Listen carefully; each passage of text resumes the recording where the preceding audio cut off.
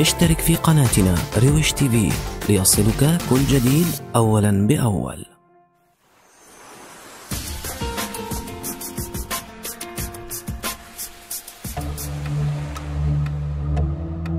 ال FBI تكشف لك أي الأبراج هي الأكثر خطورة.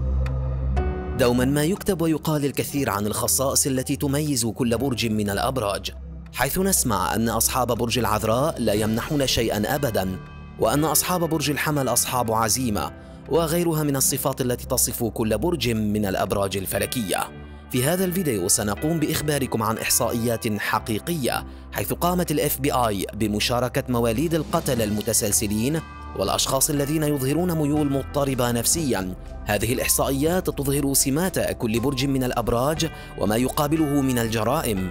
لنرى أي برج من الأبراج هو الأكثر ميلا للجنون والاضطراب بتسلسل تنازلي. في المرتبة الثانية عشرة برج الجوزاء. الجميع يتكلم بالسوء عن الناس الذين ولدوا ضمن برج الجوزاء. لكن يبدو أن أصحاب هذا البرج يملكون سمات أقل خطورة. فأصحاب برج الجوزاء لا يأخذون أي شخص على محمل الجد لكي يقوموا بإيذائه أو قتله حيث إنهم بدلا من ذلك غالبا ما يفضلون جعل من يريدون إيذاءهم يشعرون بالملل لحد الموت من خلال التكلم معهم باستمرار. في المرتبة الحادية عشرة برج الدلو هو ثاني أكثر الأبراج الذين يتسمون بالبراءة. يهتم أصحاب هذا البرج بالعدالة كثيرا ولديهم الكثير من الغرور الذي لا يمكن تحطيمه بسهولة. لربما أصحاب هذا البرج هم ثاني الأبراج الأقل خطورة بعد الجوزاء لأنهم أذكياء بنظر إحصائيات بي آي حيث إنهم لا يتركون دلائل وراءهم بشكل كبير. وبهذه الطريقة لا يتم القبض عليهم ويصبحون ضمن هذا الجزء من الإحصائية. في المرتبة العاشرة. برج الأسد. لا تنخدع بكل ذلك الزئير. ففي النهاية الأسود هم مجرد قطط. هكذا هم أصحاب برج الأسد الذين يبقون بعيدين عن المشاكل. يذكر ضمن الإحصائية أنه عندما يقوم أصحاب برج الأسد بالقتل فإنهم يقومون بذلك بغرض لفت النظر. في المرتبة التاسعة برج الميزان. أصحاب برج الميزان يعرفون بلطفهم وصبرهم لكن بشكل مريب هؤلاء الناس ارتكبوا جرائم أكثر من أصحاب برج الأسد والدلو. حسنا حتى الصبر له حدود لذلك من المرجح أن يلجأ أصحاب برج الميزان للعنف عندما يستغل الآخرون نواياهم الحسنة. في المرتبة الثامنة برج العذراء. العذراء القاتل الأكثر أناقة واضطرابا نفسيا. من الأجدر الإشارة إلى أن أصحاب برج العذراء هم أكثر ميولا للسرقة والاحتيال من القتل. في المرتبة السابعة برج الحوت. هل تظن أن أصحاب برج الحوت فاتنين؟ أنت مخطئ. القاتل جون وين جيسي يعرف أيضا بالقاتل المهرج. ريتشارد راميرز ألين وارنوس بقصتها الحزينة. هؤلاء هم مجموعة فقط من أشهر القتلة المتسلسلين أصحاب برج الحوت. إن الأشخاص الذين يولدون في شهر برج الحوت هم غالبا يرتكبون جرائم قتل استثنائية بسبب ميولهم الإدمانية.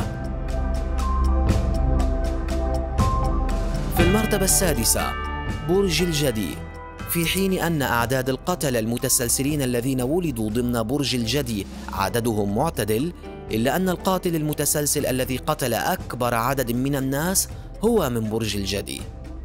برغم أنهم معروفون باحترامهم للقوانين والقواعد إلا أنه لا ينبغي إزعاج أصحاب هذا البرج. الأشخاص الذين يولدون ضمن برج الجدي هم لا يقتلون غالبا لكنهم عندما يقومون بالقتل فهم يقومون بذلك بكل هوس.